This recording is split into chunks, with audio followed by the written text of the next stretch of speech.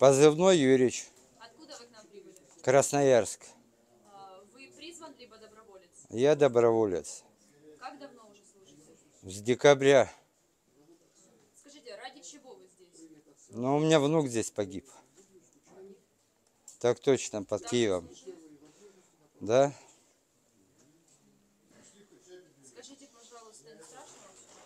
Нет. Вы сейчас боялись, да? А, Скажите, пожалуйста, кто вас ждет дома и кому вы хотели передать привет? Ну, ждут родные, жена, дочь, внучка. Привет больше всего внучке. Зовут Анюта, зову Лисенок. Привет, Лисенок. Дед привет тебе передает.